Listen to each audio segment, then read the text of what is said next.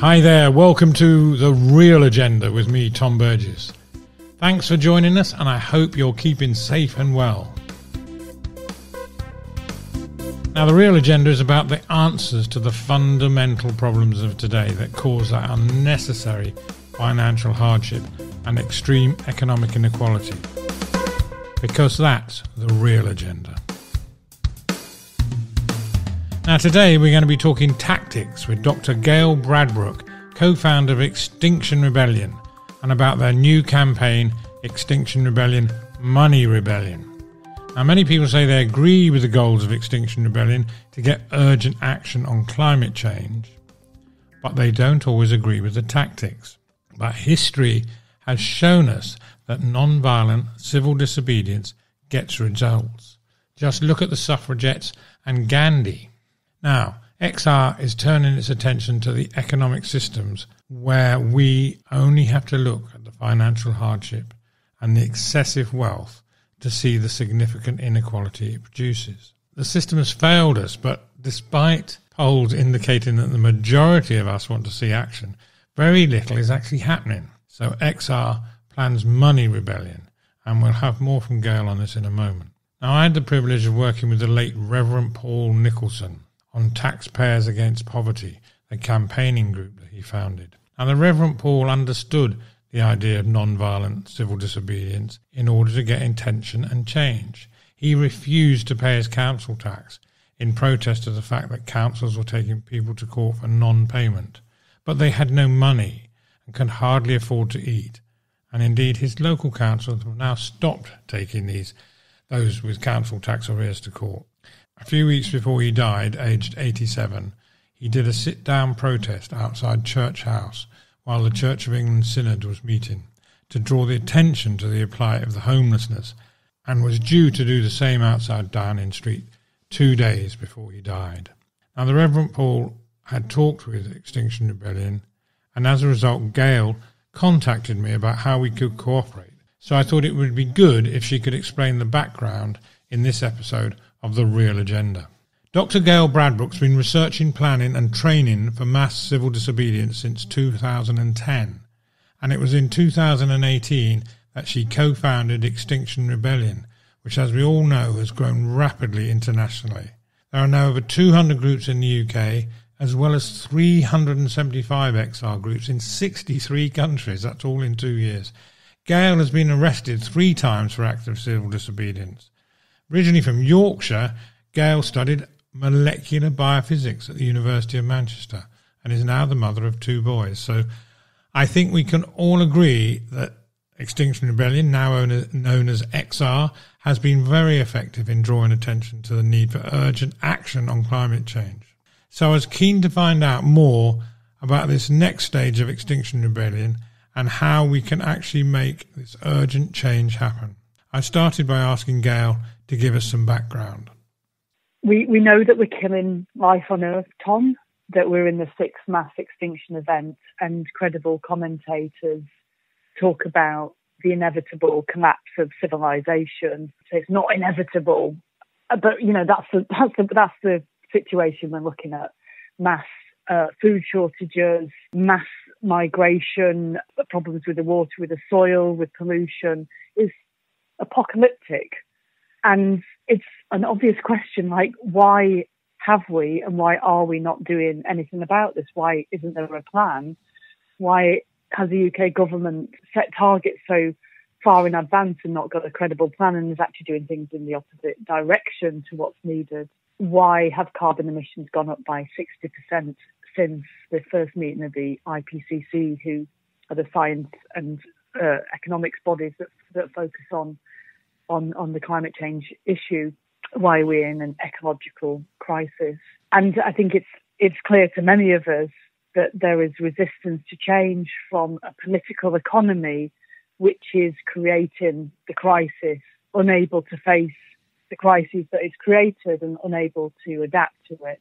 The way I say it is we have to have a grown up conversation about economics. And I, I quite prefer the phrase political economy because this is both about politics and economics and their absolute interwoven nature. There's a there's been a move for many years from sort of the quarters focusing on free market fundamentalism or neoliberalism, which would have us believe that economics, the system that we have, is a sort of emergent natural property like gravity is, and it's not. It's not an emergent natural property. It's it's a deliberate political choice that's being made, and that choice is, is killing life on Earth. So what you're saying is that the issue regarding the climate change, environmental damage, killing life on Earth is that's causing that is actually the economic system that we have. That it's going to be sort of inevitable that these things with the current economic system it's inevitable that these things will happen and it will eventually kill the planet. Is that what you're saying? Obviously, it doesn't kill the planet, it, uh, but, but, the uh, Permian mass extinction, which is one of the previous extinction events, killed aboard order 95% of life on Earth, and there has been uh, one one paper suggesting we're emitting uh, carbon and, and, damaging the environment in a in a similar way. I mean, this is all open to debate, but the point is uh, we are in a mass extinction event. Uh, the, the planet will carry on having some form of life, but it could be millions and millions of years before it recovers. And it's not clear that to what extent uh, human life on that planet is tenable. I guess reading the science and scientific commentary, people think that some human beings will live, but many billions will die, and it'll be a, a harsh and difficult existence. There's enough information to show us that we are badly going wrong here and we have to change. Okay, so what and, are the main yes, things regarding that you would want to change with the economic system? I, I, think the other thing I want to say is that this economic system emerges from a deeper problem uh, that's been going on for, for some time. Some people might want to use a word like patriarchy. I find the concept of Wetiko, of a, a kind of mind virus focused on domination and extraction and a separation from nature, as being a sort of underlying principle that we have to move away from and, and reclaim uh, different human culture and values. So uh, this is not a point about being, you know, ideological and against this system and for that. I think we have to move beyond that kind of divisive conversation and talk about what's useful in the system that we have already that we can upcycle and what needs to change. And I think the first place that I would start a conversation with is what's the purpose of the economic system that we have. How is it measured, and, and what and what do we say when we believe it's been successful? But we know the key measure that people use, even though the inventor Simon Kuznets said, "Please don't use this as a key measure," is GDP. The amount of economic activity. It doesn't matter whether that economic activity is destroying communities, cutting down woodlands, emitting a load of pollution, dividing communities, and so on, as long as it's economic activity. It doesn't matter if it's potholes in the road that mean you have to go and get your car fixed for the fifth time that year. It's economic activity, so it's all good. You know, farming, i.e., what produces food for us, is only 1% of GDP, so it's not seen as important. So there's something really unhelpful about that measure. And there are other measures out there. Uh, I'm not here to advocate for any one of them, but as an example, the uh, genuine progress indicator says, you know, let's think about what we want to be progressing. Okay, is the strength in the economy, and also let's look at human progress indicators as well. How how well are we feeling? How well are our needs being tended to? And let's look at the environment and uh, that, that, sustains us that we're part of, and how well is that being sustained or is it being eroded? And if you look at the genuine progress indicator, we've been in a recession for a long time. And so I think the point really is is to say what's the purpose of the economy, and I think it should be to maximise well-being and minimise harm, and that's what Milton Friedman essentially argued that the free market economics would do. But he was essentially saying that it would maximize, it would minimise the concentration of power, and therefore prevent harm from being done. So I, I think it's really good that I, I could share that vision with him that, that that would be a great vision for an economic system. Unfortunately, it's very clear that this one isn't achieving that. It's doing quite the opposite. I think other people would argue that we have a very corrupted economic system. I certainly agree with that. That you could you can call it capitalism. It's also very deeply corrupted, and some would therefore not think it's a functioning version of capitalism.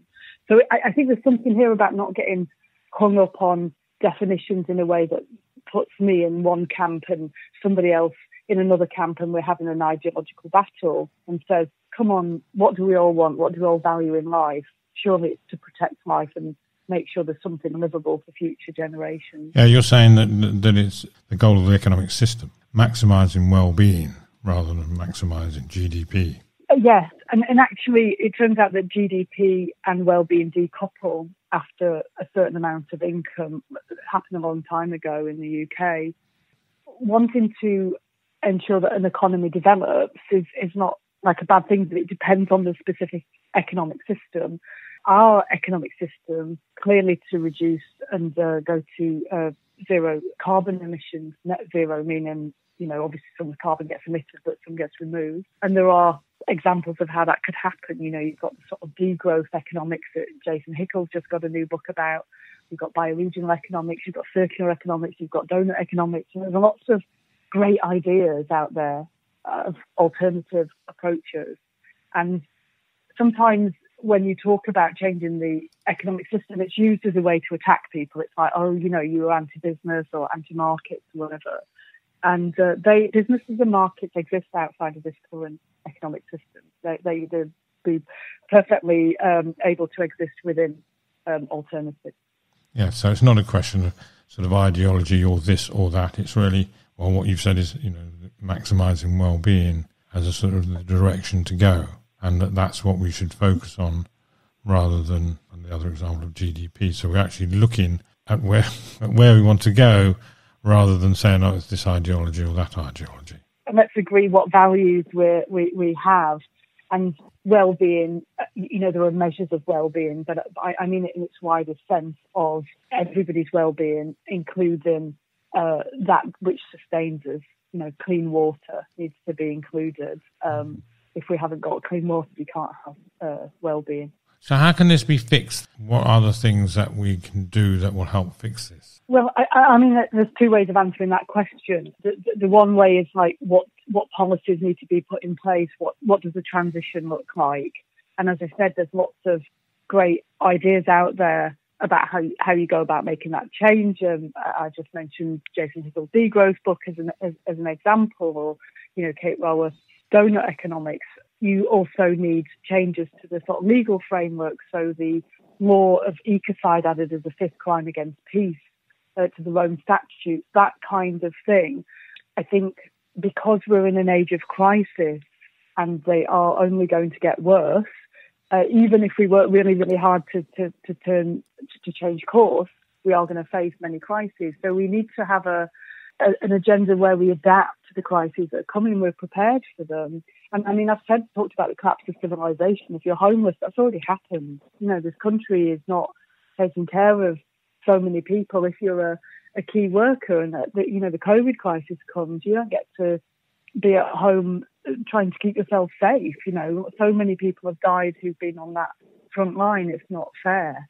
And how do we therefore make sure that societies adapted to the changes that are coming I mean, I think another great idea is universal basic services. I mean, what I do need to say is like none of these are things that Extinction Rebellion and, and Money Rebellion, as part of that, are pushing for in terms of policies because that's not our job.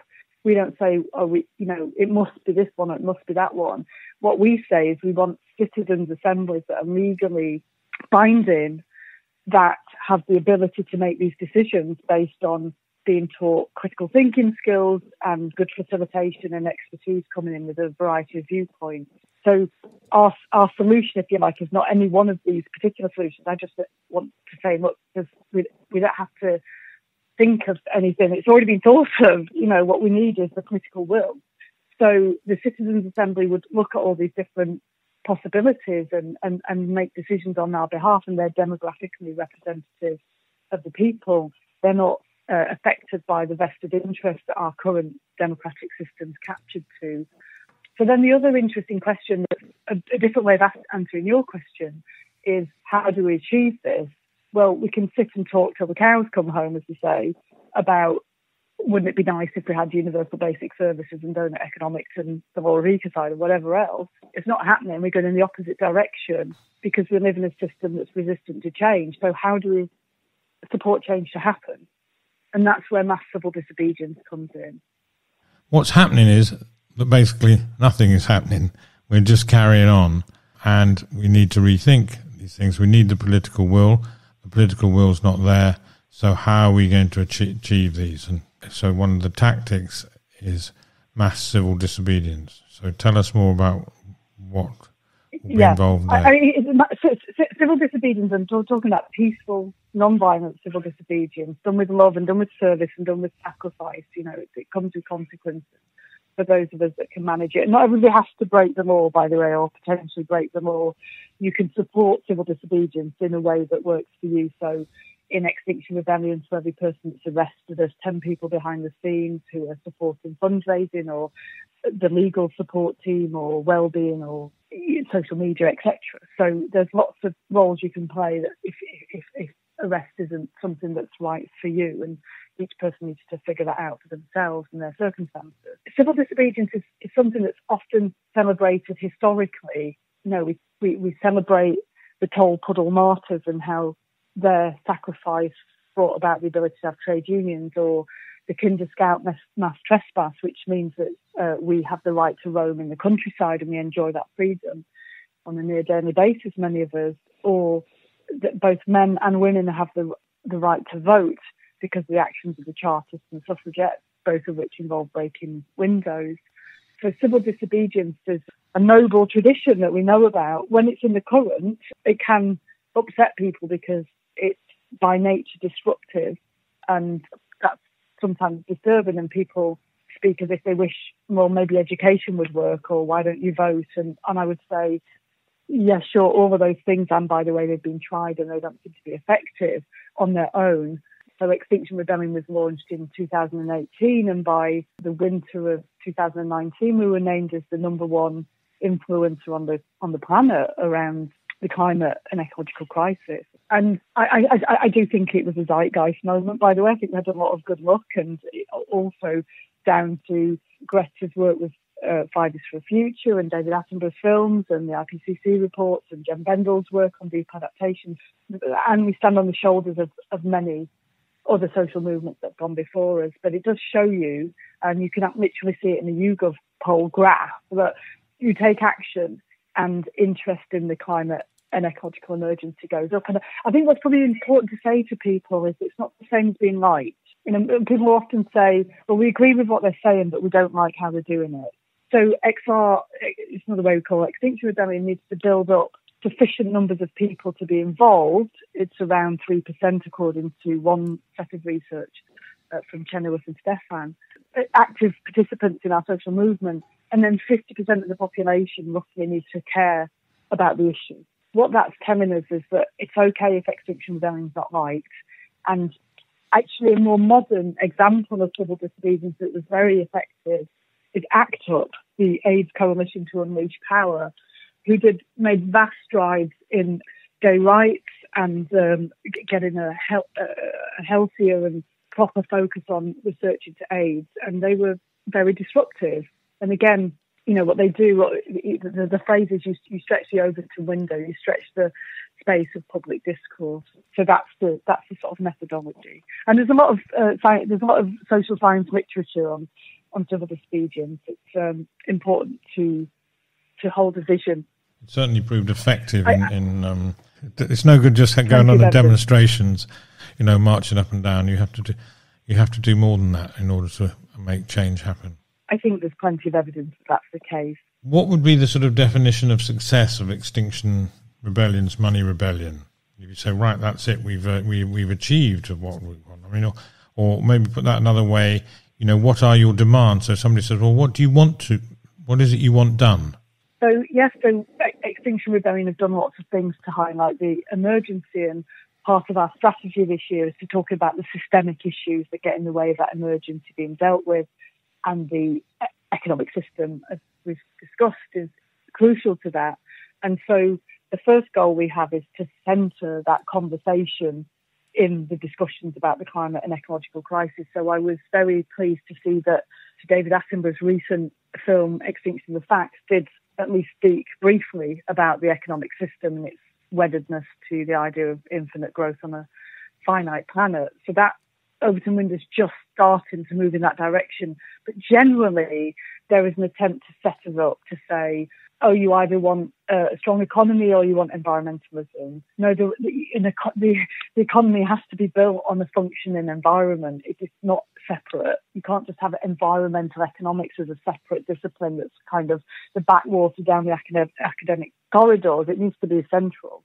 Um, and so that's the first goal is to bring that fully into the discourse and make clear that the economy can protect people, that this is not about attacking people's jobs and so on. All the sort of tropes really that are used against environmentalism.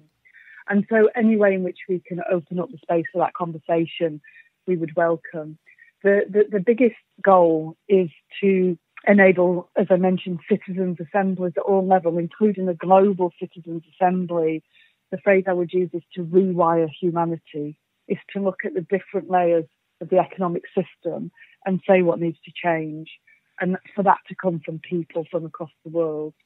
Uh, and we do have um, an independent team of people who are working to build the capacity for that global citizens' assembly, and there is interest at sort of UN level with that kind of thing happening. So it, this is all possible, but we need institutions and governments to point and say, yes, we need this to happen.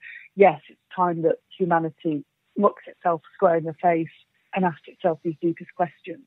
Because some of the international trade agreements, and we're looking at, as I said, the international legal environment, and also these questions about competition, about the tax system globally, which is completely broken and extractive from majority world countries to the minority world, so on. All this needs to be on the table because it all means that it's all in the way of us of, of us solving this crisis.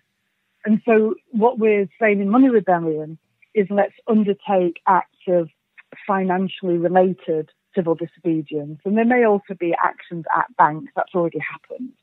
Uh, Barclays Bank has been targeted by Animal Rebellion, which is a sister organisation. They fund much industrial animal agriculture, which is one of the most crucial industries that needs to uh, be stopped in terms of the destruction of the planet.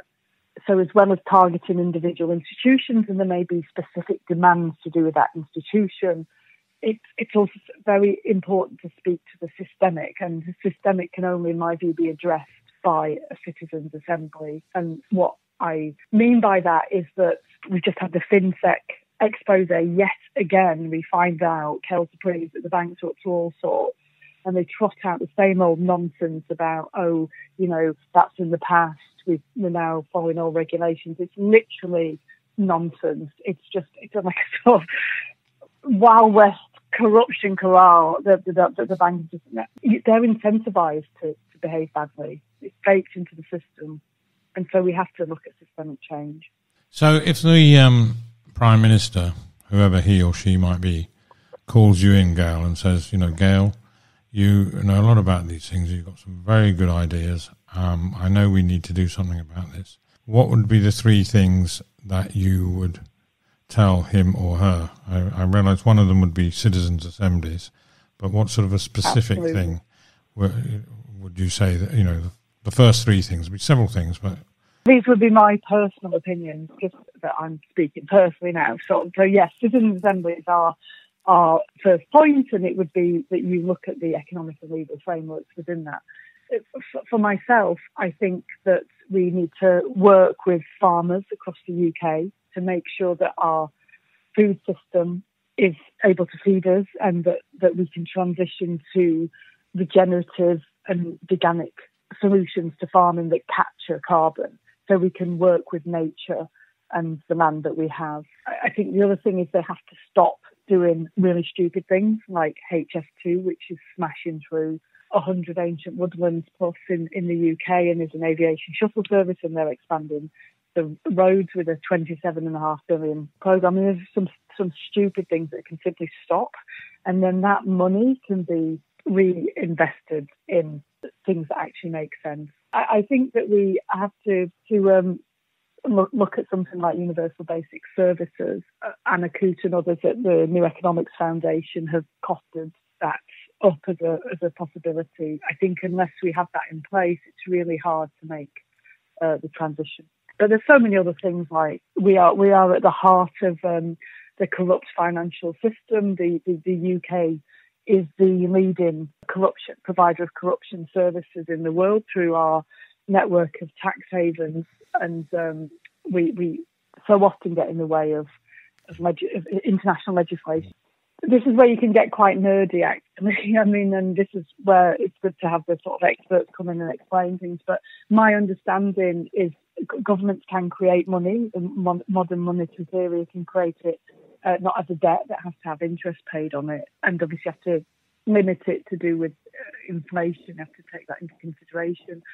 The tax system then can serve a purpose to remove excessive money from the system that's accumulating because one of the key issues is inequality. It's probably the key issue in, in, in the ecological crisis. So the other crises that other people who are listening to this may be more focused on, like, you know, what's happening, eh, you know, taxpayers against poverty, what's happening to uh, people who, who, are absolutely on the line trying to survive in, in, in this society. The, the, the, depth of inequality is, is, is tragic. And we know from the spirit level analysis of Wilkinson Pickett that it affects everybody in society when you have a deeply unequal society. And also from an environmental point of view, the uh, 50% of emissions comes from 10% of the population, and then the, the, the wealthier you get, the, the, the, carbon footprint is vast. It's, it's sickening.